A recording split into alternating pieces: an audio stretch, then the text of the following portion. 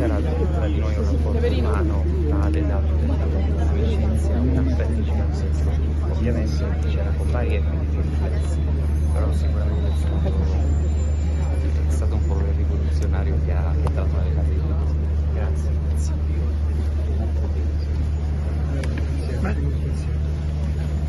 Siamo tutti molto dispiaciuti ovviamente, ma credo che sia anche retorica, cioè, retorico quello che dico, ma è la verità.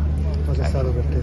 Ma sicuramente una perdita così è come quando perdi un parente, perché alla fine un parente che non ha proprio la collocazione del nonno, dello zio, ma proprio perché lui era così, era unico.